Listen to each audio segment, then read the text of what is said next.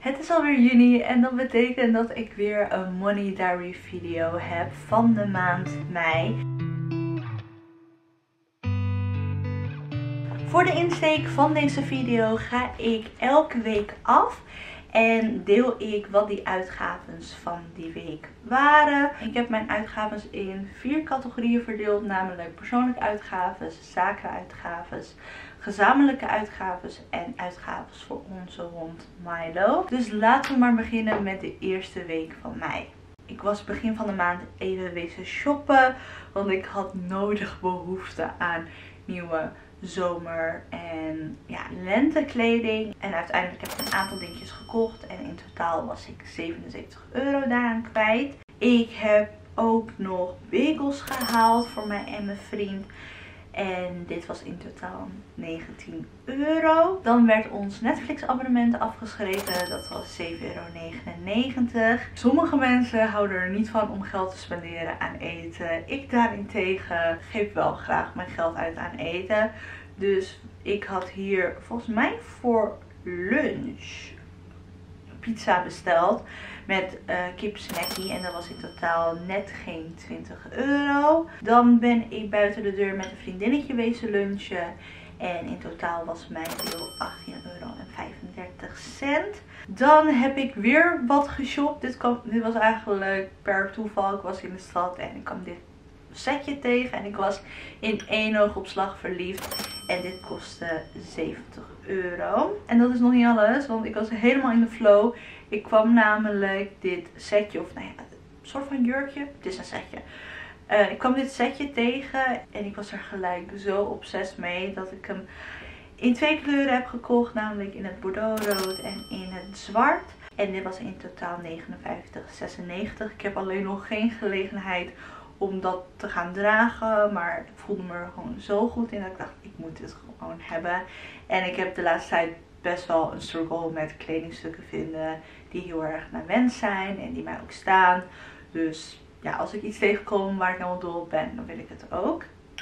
Dan moest er ook boodschappen gedaan worden. Dit was een kleine boodschap van een aantal dingetjes. En dat was 5 euro en 58 cent. Uh, naast dat had ik bij de Normal ook een paar goodies gehaald. Ik vind dat echt zo'n fijne winkel waar je heel veel dingen voor best wel goedkoop kan kopen. Dan had ik echt de meest random aankopen gehaald. Maar in totaal was dat 6,60 euro. Dan waren mijn make-up kwasten toe aan vervanging. En dit keer had ik een travel size gekocht. Omdat ik dat veel compacter vind. En naast dat had ik ook nog een van mijn favoriete haarproducten gekocht. En dit was in totaal 50,52 euro. Dan moesten er weer boodschappen gedaan worden. Alleen dit was een wat grotere boodschap. En dit was in totaal 29 euro en 93 cent. Dan gaan we door naar de tweede week van mei. Ik gebruik een platform of nou ja, een app. En daarmee luister ik mijn audioboeken. En dat kost 10 euro per maand. En soms betaal ik het. En soms stop ik het abonnement even voor een korte tijd. Als ik er niet veel gebruik van maak. Maar ja, afgelopen maand maakte ik er wel gebruik van. En dat kostte mij dus een tientje. Dan heb ik een bestelling geplaatst bij mijn proteïne. Want ik wilde weer proteïne gaan innemen. En ik had een pakket. Een soort van... Ja, het was een deal. Voor 29,43 euro. En in dat pakket had ik verschillende producten. Dus ik vond het wel een, uh, ja, een koopje. Dus dat heb ik gekocht. Later die week ben ik weer bagels gaan halen. Maar dan ergens anders. Je merkt wel wat mijn favoriete lunch op dit moment is. Namelijk bagels. En ik had een bagel voor mijn uh, Ritzy gehaald. En die was in totaal 18,90 euro. In mei was het natuurlijk moederdag. En voor een aantal moeders in mijn omgeving had ik chocolaatjes besteld. Dit waren bonbons. En dit was in totaal 31,84 euro.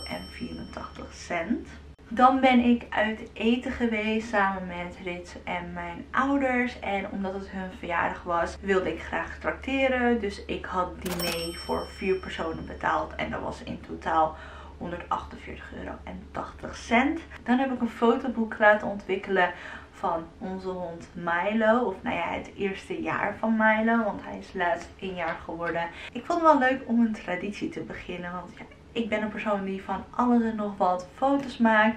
Mijn camerarol zit helemaal vol met herinneringen Maar hoe leuk is het om ook iets fysieks te hebben. Dus ik had een fotoboek laten ontwikkelen. En dit was in totaal nog geen 45 euro.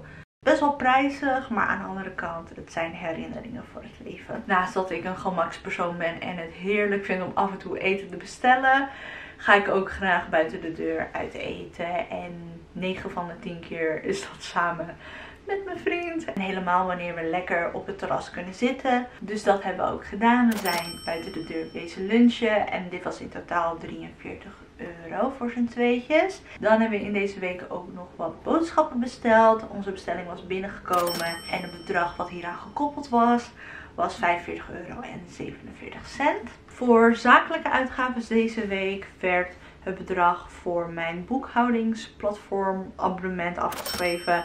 En dat was 17,55 euro.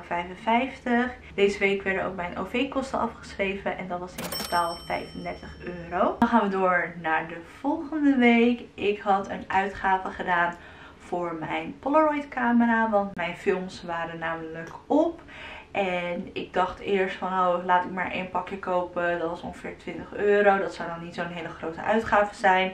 Maar toen zag ik een aanbieding waarbij je voor vier pakjes minder dan 60 euro zou moeten betalen. En dan heb je in totaal 80 foto's. En dat scheelde wel wat geld. Dus ik dacht, weet je, laat ik gewoon profiteren van deze actie. En dan heb ik uh, voorlopig genoeg fotootjes. Dan had ik ook wat dingetjes besteld op AliExpress. Uh, ik heb een beetje een haat-liefde verhouding met uh, die webshop. Maar ik kan er wel altijd heel veel leuks op scoren. Dus ik heb een aantal interieur gerelateerde dingetjes daar gekocht. En in totaal was ik 27 euro en 13 cent kwijt. Dan ben ik met een vriendinnetje wezen lunchen. In totaal was ik hier 20 euro aan kwijt. En onderweg had ik nog een koffietje gehaald. En dit was 1 euro en 10 cent. Dan komen we weer een boodschappenbestelling binnen. Wekelijks proberen we boodschappen te bestellen of boodschappen te halen bij de winkel. En dit was 45 euro en 83 cent. Dan heb ik wasstrips gekocht. En Voorheen had ik altijd vloeibaar wasmiddel, maar ik wil graag naar een alternatief. Dus we hebben een bestelling geplaatst voor in totaal 120 sheets voor 45 euro. En we hebben het nu al een aantal keer gebruikt en tot nu toe ben ik er zeer tevreden over. En we zullen zien of we hier uh, een vervolgbestelling voor gaan doen. Maar voor nu zijn we voorlopig wel Dan was ik naar het Amsterdamse Terrassenfestival geweest. En ik was uitgenodigd om daar naartoe te gaan. Dus ik hoefde niet voor entree te betalen. En had ik ook een kleine, hoe noem je dat, te goed om daar te spenderen. Maar ik vond dat niet genoeg. Dus ik heb zelf daar ook nog geld uitgegeven aan wat eten. Dit was 12 euro. En we hebben daar ook een foto gemaakt. En dat was 6 euro. Ons douchegordijn was nodig toe aan vervanging. Toen we hier kwamen wonen hadden we er eentje gekocht van ongeveer een tientje. Maar ja, hij was zo vies. Hij kon niet meer schoongemaakt worden. Dus ik dacht laat ik een kwalitatieve douchegordijn kopen. En deze kostte 33 euro en 78 cent. Al eerder in deze video had ik laten zien dat ik een fotoboek had laten ontwikkelen. Nu heb ik een tweede gemaakt. En dit is een fotoboek waar verschillende foto's van verschillende vakanties in staan. En in totaal was dit nog geen 50 euro. Dan had ik weer lunch besteld, want ik had zoveel trek in burgers. En dit was 19,77 euro. En dan had ik ook nog een nieuwe mok gekocht. Ik heb soms fases dat ik heel veel nieuwe mokken wil aanschaffen. En die fase is nu. En ik zag deze mok voorbij komen. Ik vond hem zo schattig. Met allemaal beertjes. Ik heb een kleine beertjesobsessie op dit moment. Dus ik vond het helemaal toepasselijk. En deze was 7,10 euro. Dan ging ik buiten de deur lunchen. En we hadden een pasta en een broodje gedeeld. En dit was in totaal 28 euro. En dan gaan we alweer door naar de volgende week. We begonnen de week met een macro tripje. We hebben daar uitgebreid boodschappen gedaan. En in totaal waren we bijna 180 euro kwijt. Aardig wat geld, maar we hadden ook aardig veel boodschappen gedaan. In diezelfde week was mijn sportschoolabonnement afgeschreven. Dat was 42 euro. En er kwamen ook nog weer boodschappen binnen. En dit was in totaal 42 euro en 92 cent. Toen was ik ook nog eventjes naar de dierenwinkel geweest om een snackje voor mij te halen. En dit was 3 euro en 5 cent.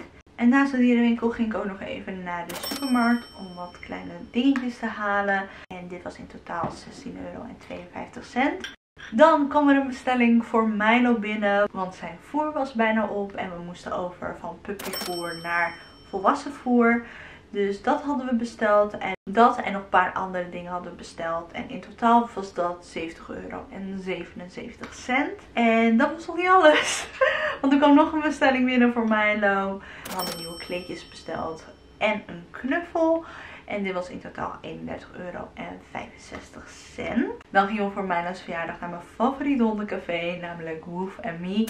En daar hebben we geluncht. En had Milo ook een ja, hondenijsje. En in totaal was dat 32 euro. Er kwam een bestelling binnen met onder andere wat kledingstukken. En in totaal was dat 94 euro en 75 cent. Dan hadden we bij een Indonesisch tentje eten besteld. En voor zijn tweetjes was dit 36 euro en 75 cent. Dan had ik onderweg een paraplu gehaald, want het ging regenen en ik had geen paraplu bij me. En het hoostte echt enorm. Dus een paraplu was wel echt nodig. En dit kostte 12,95 euro. We waren uit eten geweest en voor twee personen waren we 102 euro kwijt. We waren in totaal met z'n vieren, maar we hadden de rekening door de helft gedaan. En dit was ons deel. Dan in diezelfde week had ik geld overgemaakt naar onze gezamenlijke rekening. Om daar onze huur, autokosten, vaste lasten, boodschappen, etc. etc. te betalen. En normaliter maak ik ongeveer 1500 euro per maand over om alles, om mijn deel van alles te kunnen betalen. Maar deze maand ontving ik ook mijn vakantiegeld. Dus het bedrag werd ietsjes meer. Omdat ik dan ook alvast geld voor vakantie apart kan zetten. En het bedrag wat ik deze maand had overgemaakt was 1900 euro. Dan gaan we door naar de laatste week van mei. In deze week werd mijn zorg afgeschreven. Dat was 154 euro en 90 cent. Dan werd mijn lensabonnement ook afgeschreven. Dat was 27 euro en 34 cent. Daarnaast had ik op Bol ook een bestelling geplaatst voor uh, hand sanitizer. Voor twee stuks betaalde ik bijna 17 euro. Nu ik er zo over nadenk is dat eigenlijk belachelijk veel geld voor twee hand sanitizers. Maar ik was er zo benieuwd naar en ik zag voorbij komen. Ik dacht, weet je, ik gebruik het toch wel vaak. Dus ik heb dat gekocht. Toen hadden we ook nog boodschappen gedaan. En dit was in totaal 28 euro en 17 cent. We zijn even langs een tentje geweest genaamd Loudens. En daar hebben we een croissant gehaald. Of nou ja, een cookie croissant. En dit, twee croissants plus één drankje was in totaal 15,25 euro. Redelijk prijzig, maar het smaakte wel heel erg goed.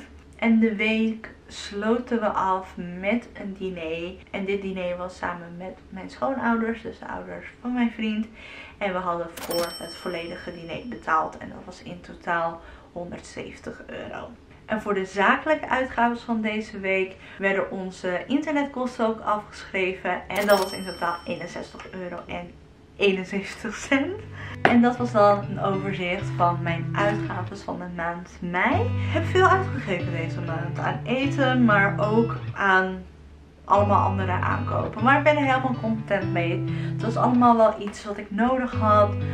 Ehm, waar ik blij van word. Dit was dan de video. Ik wil je bedanken voor het kijken. En hopelijk tot de volgende keer.